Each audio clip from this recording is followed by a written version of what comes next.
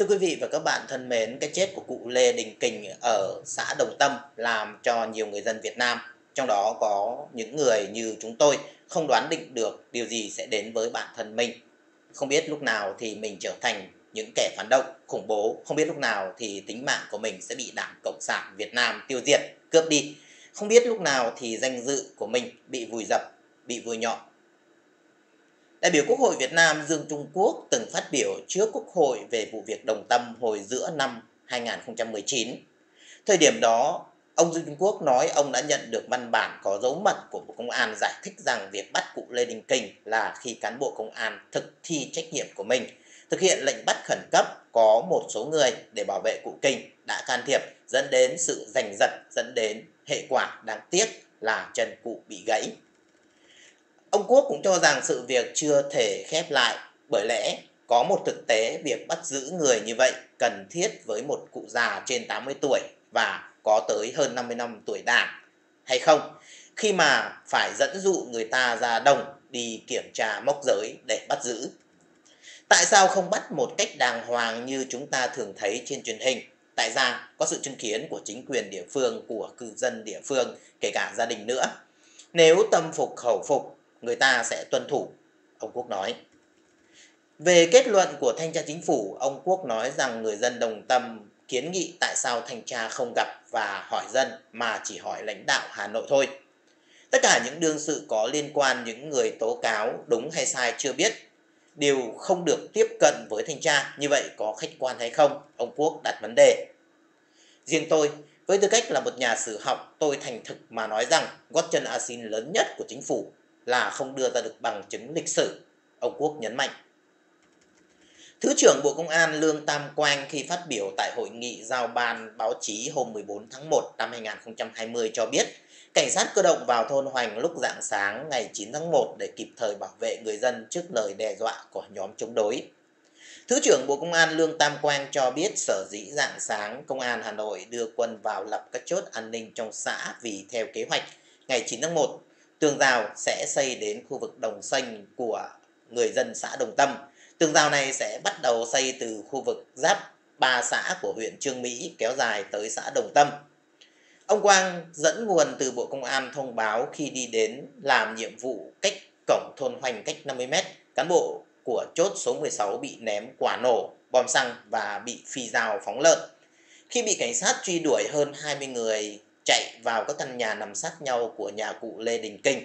Lê Đình Công, Lê Đình Chức ném chai xăng từ tầng 2, tầng 3 xuống dưới. Đây là lần thứ ba Bộ Công an đưa ra kịch bản khác nhau để nêu lý do đưa lực lượng cảnh sát cơ động tấn công vào thôn Hoành dạng sáng ngày 9 tháng 1 năm 2020. Trả lời phóng viên hôm 14 tháng 1, nhà báo độc lập Nguyễn Ngọc Già nhận định, xin trích, tôi gọi đó là khủng hoảng về truyền thông, đó là bước khởi đầu để Đảng Cộng sản Việt Nam và Bộ Chính trị phản đối phải đối diện với cuộc khủng hoảng toàn diện không tránh khỏi. Và có thể nói cuộc khủng hoảng chính trị toàn diện này là tồi tệ nhất trong suốt 45 năm qua khởi phát từ Đồng Tâm. Theo nhà báo Nguyễn Ngọc Già, việc Bộ Công an đã ra những phát ngôn như vừa nêu là một cách tiền hậu bất nhất. Điều đó phản ánh một quan điểm rất dễ thấy, đó là vì họ nói sai sự thật.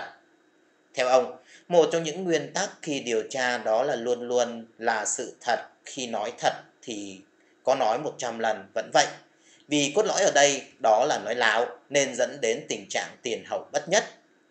Luật sư Đặng Đình Mạnh dưới góc độ người dân cho rằng việc nhà cầm quyền cố che đậy mọi thông tin để độc quyền đưa tin về sự việc đồng tâm là không công bằng và cũng vi phạm quyền được thông tin của người dân. Ông nói, Lẽ ra những chuyện như vậy nên để báo chí tham gia một cách hết sức bình thường. Khi như vậy, thì mỗi tờ báo sẽ đưa tin theo tin họ thu thập và theo đánh giá của họ, thì công chúng sẽ biết sự thật là như thế nào. Còn ở đây thì họ lại che đậy hết mọi thông tin dẫn đến việc người dân rất hồ nghi tất cả những thông tin của nhà cầm quyền cộng sản đưa ra, so với thông tin ban đầu và thông tin hôm nay họ đưa ra. Rõ ràng người dân, họ thấy có sự chênh lệch thông tin. Dưới góc độ người dân thì tôi cho rằng không thể chấp nhận một sự việc mà chính quyền độc quyền thông tin theo hướng đảm bảo việc làm của họ là chính đáng và hợp pháp, đẩy sự bất lợi về phía người dân đồng tâm, như vậy là không công bằng. Trước đó vào ngày 10 tháng 1, trong thông báo đầu tiên trên cổng thông tin của Bộ Công an, cơ quan này nói dân Đồng Tâm tấn công lực lượng chức năng khi đang xây tường rào sân bay Miếu Môn.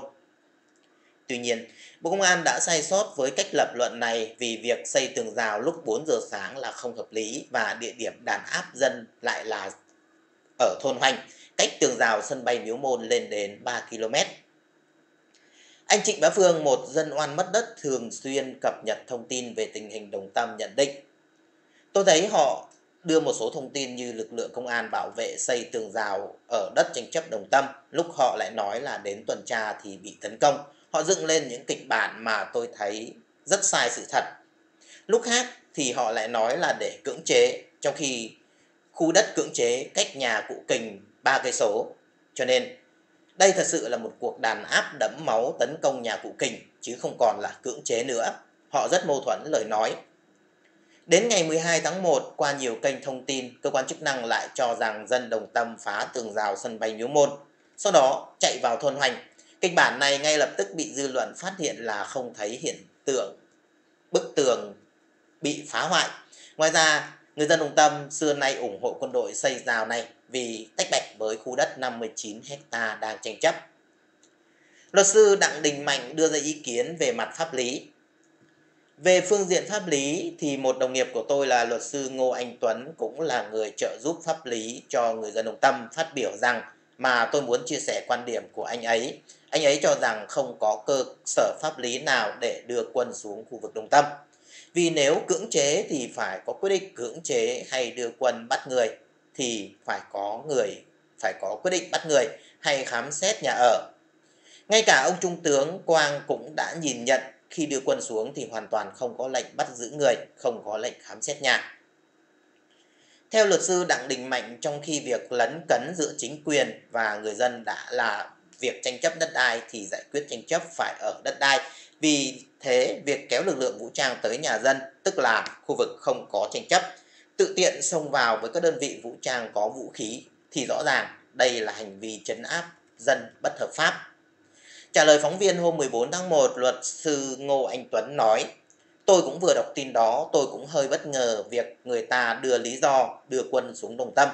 Trong các vụ án thì cũng có trường hợp người ta đưa thông tin không đúng để khỏi ảnh hưởng về việc điều tra. Tuy nhiên, trong trường hợp này tôi nghĩ đây là một cách chữa cháy cũng tại hội nghị giao ban báo chí hôm 14 tháng 1 năm 2020, Thứ trưởng Bộ Công an Lương Tam Quang cho biết trong nửa tiếng chấn áp, lực lượng chức năng tạm giữ hơn 30 người, thu 8 lựu đạn tại hiện trường, 38 chai bom xăng, 12 tuyếp sắt đầu gắn dao nhọn, 3 hộp pháo sáng, một khẩu súng bắn điện, một thanh kiếm, một búa. Ông Kinh ném một quả lựu đạn nhưng không nổ, tay còn cầm một quả khác. Nhà báo Nguyễn Ngọc Già nhận xét thêm, họ đã không có một kế hoạch thống nhất mặc dù đây phải gọi là mưu đồ để hãm hại người dân đồng tâm. Bởi vì tôi tin rằng khởi phát một cái việc quá lớn như vậy đối với một nhân vật như cụ Lê Đình Kình thì Bộ Chính trị chắc chắn phải lưu tâm. Điều này cho thấy Bộ Chính trị không có sự thống nhất phản ánh việc bất nhất này là ngay lập tức sau khi tấn công người dân tàn mãn, tàn sát và man dợ như vậy, ông Nguyễn Phú Trọng đã ký ngay tặng thưởng huy chương chiến công hạng nhất. Tôi không tin rằng chuyện này do ông Trọng chủ động mà gần như là hình thức bù nhìn rồi, tức là nó phản ánh giai đoạn của thời phong kiến suy tàn. Xin được nhắc nhại lại tranh chấp đất ở Đồng Tâm bùng nổ vào ngày 15 tháng 4 năm 2017 khi nhà cầm quyền huyện Đồng Tâm, xã Đồng Tâm, huyện Mỹ Đức, thành phố Hà Nội tiến hành cưỡng chế tại đất Đồng Xanh ở thôn Hoành khi đó người dân Đồng Tâm đã gây chấn động dư luận vì đã bắt giữ 4, bắt giữ 38 cảnh sát cơ động và cán bộ làm con tin để yêu cầu được đối thoại với nhà cầm quyền thành phố Hà Nội. Sau một thời gian tạm lắng, thời gian gần đây nhà cầm quyền Cộng sản Hà Nội lại liên tục có những động thái mà theo người dân Đồng Tâm là toàn tính cướp đất của dân như công bố bản đồ Đồng Tâm không rõ nguồn gốc, bôi nhọ người lãnh đạo tinh thần của Đồng Tâm, đem quân đội xuống địa phương. Gần nhất vào chiều ngày 4 tháng 1 năm 2020, cơ quan chức năng đã huy động một lực lượng quân đội cùng với vũ khí súng ống, thiết bị các loại bao gồm cả vũ khí đàn áp bằng âm thanh có tên là Long Acoustic Device AED đến xã Đồng Tâm. Và cho thấy lúc này chắc nhiều người chưa hết bàng hoàng về vụ vào sáng sớm ngày 9 tháng 1. Nhân quyền Cộng sản Hà Nội đã huy động cảnh sát cơ động có trang bị vũ khí đến thôn Hoành, xã Đồng Tâm chấn áp, bắt giữ một số người dân bị cơ quan chức năng cho là chống đối. Ông Lê Đình Kình, người được coi là thủ lĩnh tinh thần của người dân trong việc giữ đất đồng tâm, đã thiệt mạng trong cuộc đụng độ giữa người dân và cảnh sát cơ động vào sáng sớm ngày 9 tháng 1 năm 2020. Ông Thứ trưởng Bộ Công an tướng Lương Tam Quang trình diễn biến xảy ra biến cố chết người tại Đồng Tâm dạng sáng ngày 9 tháng 1 năm 2020. Sau đó đã có nhiều phân tích khá chi tiết nhiều mặt về nội dung đó rồi. Ở đây chỉ lưu ý thêm một điểm mà theo tôi là cần thiết. Cụ Lê Đình Kình chết như thế nào? Theo tướng Quang là hoàn toàn không có việc vào đồng tâm để bắt giữ và không có lệnh bắt giữ, nhưng chỉ phản ứng khi lực lượng chức năng đang triển khai các chốt thì các đối tượng tấn công bằng lực đạn, bom xăng, dao phóng, lợn, hàn, tuyết sắt. Từ đó đưa đến tình huống ba công an ngã xuống giếng trời giữa hai nhà bên dưới cửa sổ và của các đối tượng. Sau đó đã phóng hỏa bằng cách ném chai xăng từ tầng 2 xuống tầng 3. Vẫn theo tướng Quang, cụ Kình chết là do va chạm. Vâng, vì va chạm nên bạn đạn vô tình trúng cụ Kình là chuyện coi như bình thường. Cho dù trong đêm khuya mà đem cả một lực lượng hùng hậu đã chuẩn bị kỹ từ mấy tuần trước, đó là để tấn công. Nhưng vết thương trên cơ thể cụ Kình qua hình ảnh được phổ biến tự nó cho thấy hoàn toàn không phải là vi phạm, không phải là chuyện va chạm, mà đó là chuyện cố tình giết người. Trong nòng súng đương nhiên có đường khương tuyến. Đường khương tuyến đó vừa xác định riêng từng khẩu súng ID vừa có tác dụng giúp cho viên đạn xoay cực nhanh khi ra khỏi nòng. Xoay càng nhanh thì viên đạn càng giảm được sự ma sát của không khí, bay chính xác đến mục tiêu. Xoay càng nhanh khi đụng mục tiêu, viên đạn sẽ có sức công phá càng rộng. Nhưng khi viên đạn vừa ra khỏi nòng đụng ngay vào mục tiêu thì độ xoay chưa đủ nhanh nên sức công phá chưa nhiều. Cho nên trên hình ảnh mà xác chết của cụ Lê Đình Kình chúng ta có thể thấy rằng viên đạn vừa mới bắn ra khỏi nòng là vào ngay xác thịt của cụ và giết cụ chết ngay tại chỗ. Như vậy giống như kiểu là tử hình ngay tại chỗ vậy. Nhìn vết thương ngay nơi cụ Kình chỉ thấy có một lỗ rất là ngọt, da xung quanh không hề bị tét ra. Điều đó chứng tỏ họng súng kề cận ngay cơ thể của cụ. Với vết thương như thế thì không thể vì va chạm do đạn bắn từ xa mà có thể hiểu là phát đạn xử tử. Tại sao phải xử tử? Có hai suy đoán là một trong hai hoặc cả hai không ngoại trừ. Lệnh phải giết cụ kình vì cụ kình là linh hồn của đồng tâm trong cuộc tranh đấu giữ đất. Bắt giữ số còn lại đem xử án thì tinh thần đấu tranh của người đồng tâm sẽ tàn rã và sau đó sẽ thu hồi được đám đất một cách ngọt sớt để chia nhau. Giết cụ kình để trả thù cho đồng đội vì nhóm tấn công nghĩ đột nhập vào hướng cửa sổ nhà cụ kình vừa nhanh vừa gọn. Đối tượng sẽ không kịp trở tay thay vì đợi phá cửa chính. Nhưng vì trời tối họ vô tình bị ngã xuống giếng trời giữa hai nhà bên dưới cửa sổ. Còn có bị đổ xăng xuống phóng hỏa giết chết hay không thì phải xem xét dấu vết cháy như thế nào ngay tại hiện trường. Giữa lúc căng thẳng cực độ lại nghe tin đồng đội hay cấp chỉ huy bị chết cháy thì đương nhiên khó ai có thể kìm hãm được phẫn nộ.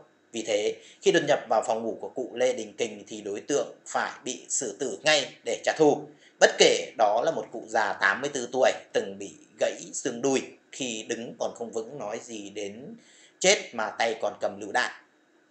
Suy đoán này cũng phù hợp với lời kể đẫm nước mắt của bà Dư Thị Thành đang quấn khăn tang chồng người ta bắt khai là ở nhà cầm lựu đạn.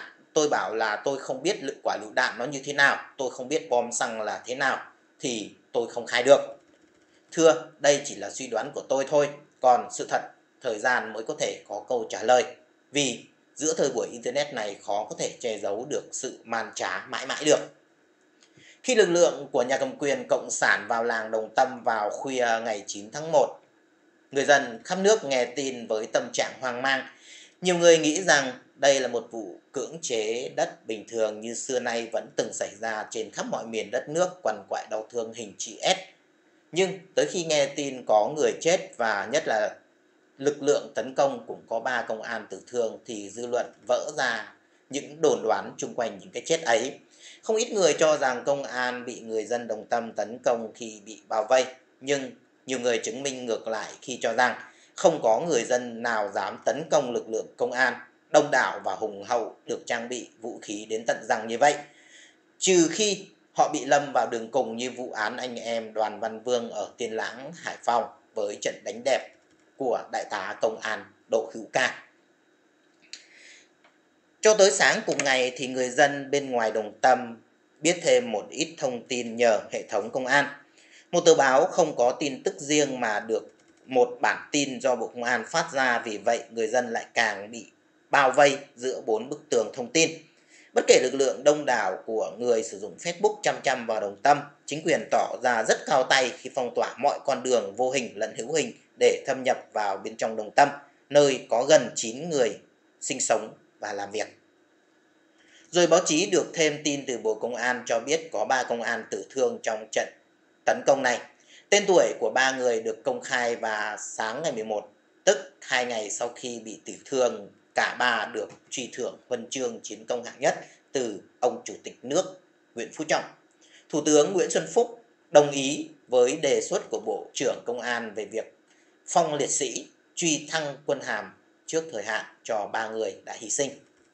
Ba người được truy tặng huân chương bao gồm Đại tá Nguyễn Huy Thịnh, Phó Trung đoàn trưởng Trung đoàn Cảnh sát cơ động thủ đô Bộ Tư lệnh Cảnh sát cơ động, Trung úy Dương Đức Hoàng, cán bộ tiểu đoàn 1 Trung đoàn Cảnh sát cơ động thủ đô và Thượng úy Phạm Công Huy, cán bộ đội chữa cháy cứu nạn cứu hộ khu vực 3 Phòng Cảnh sát Phòng cháy chữa cháy và cứu nạn cứu hộ Công an thành phố Hà Nội.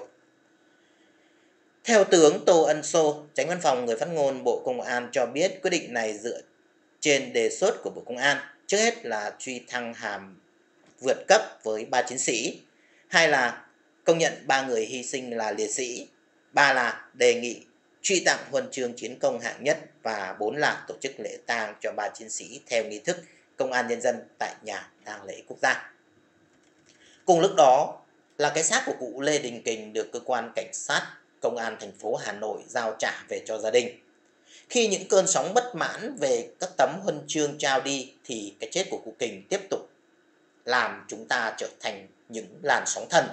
Ít ra trên mạng xã hội hầu như không ai là không biết đến cái tên Lê Đình Kình cùng với những hình ảnh của ông tràn ngập hệ thống mạng xã hội của Việt Nam. Người ta công khai buồn bã than khóc và nhất là lên án kẻ đã bắn vào ông, một cụ già 84 tuổi đời và 58 tuổi đảng một cụ ông minh mẫn đến kỳ lạ, nhớ và kể vanh vách những diễn biến về đồng tâm từ bao nhiêu năm qua mà không cần liếc qua một trang giấy nào. Có xem video của Aden Meras khi về chính ngôi nhà của cụ Lê Đình Kình quay lại những gì mà cụ nói người ta khó tin đây là một con người của bạo loạn. Trong từng lời từng chữ cụ khẳng định việc làm của mình là chống lại bất công sai trái của những ai đó cố tình lèo lái vụ đồng tâm vào ba chữ tranh chấp đất đai. Cụ khẳng định ý đồ của nhiều người có chức có quyền muốn lấy đất đồng tâm vì nó liên quan tới tập đoàn Viettel, nơi từng có một sĩ quan làm cho làm việc cho Viettel khẳng định với cụ là đồng, đất đồng tâm là được chính quyền huyện Mỹ Đức bán cho tập đoàn này. Dưới cái nhìn của rất nhiều người quan tâm tới vụ việc ở Đồng Tâm thì cụ Lê Đình Kỳ là một anh hùng thực sự anh hùng vị cụ dám đứng ra chống lại cả một hệ thống với gần 60 năm sinh hoạt đảng cùng với những chức vụ nhỏ nhất là chủ tịch hợp tác xã, rồi trưởng công an, rồi bí thư ủy ban nhân dân xã Đồng Tâm. Cụ Kình không lạ gì tâm ý của đảng trước các vấn nạn gai góc về đất đai.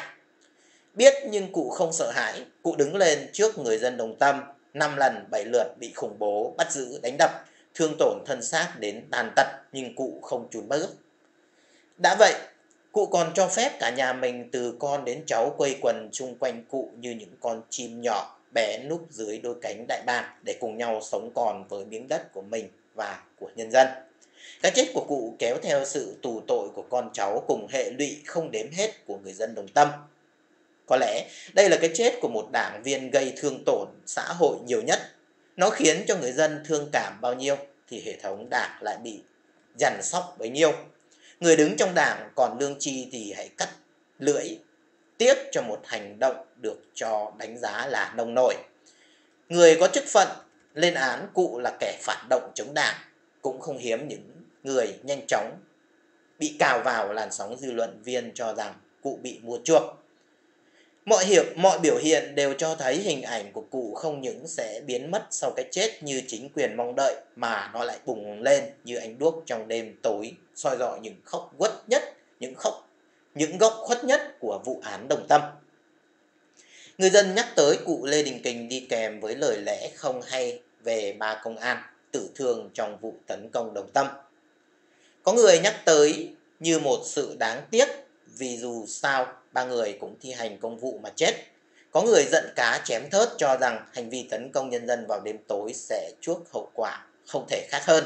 Nhưng một luồng dư luận khác lại công phẫn với người ký quyết định trao tặng huân chương mà không để ý tới sự bất mãn của nhân dân trước cái chết của cụ Kinh.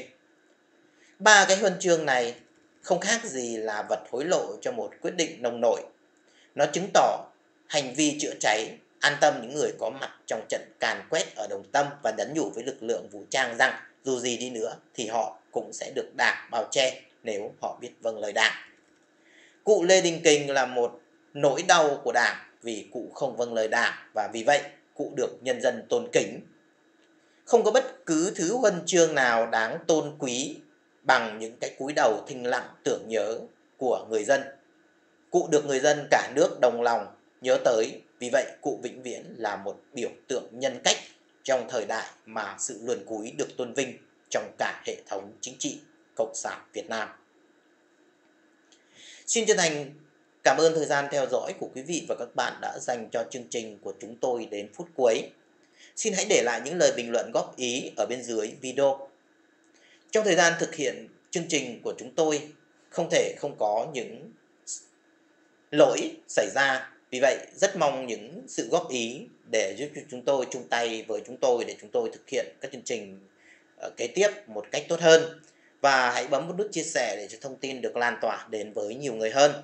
Hãy bấm một nút đăng ký để trở thành thành viên tích cực của kênh. Hãy bấm vào hình quả chuông bên cạnh nút đăng ký để nhận được những thông báo nhanh nhất, sớm nhất về các video chúng tôi sắp phát hành. Xin chân thành cảm ơn và hẹn gặp lại quý vị và các bạn trong các chương trình kế tiếp chúng tôi.